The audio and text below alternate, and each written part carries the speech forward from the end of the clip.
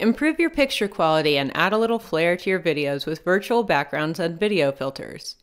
To access these options, expand the video menu and click Video Settings. Or click on your profile picture in the top right corner of your Zoom desktop application at any time and choose Settings Video. Let's start with a few ways to enhance the overall appearance of your video. Picture not so clear? Try checking the HD box for a higher resolution video. Need a bit of a confidence boost? Try checking the Touch Up My Appearance box and adjusting the slider to whatever level will help you feel your best today. A little dim in your room? Adjust for low light. You can do this automatically or manually.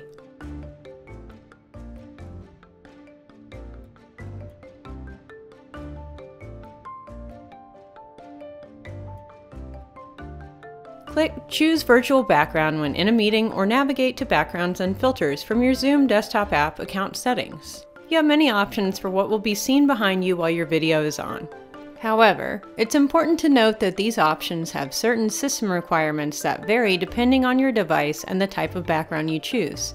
Some of them will function even better with a green screen.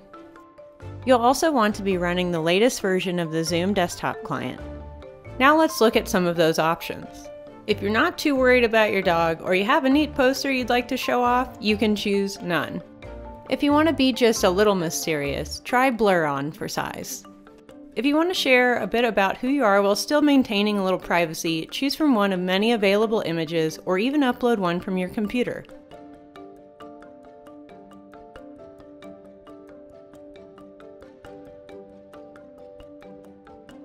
Want to choose from even more background images and be able to change them with a single click and in the same window as your meeting?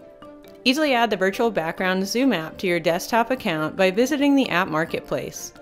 With over 2 million high resolution images, there's something for everyone here.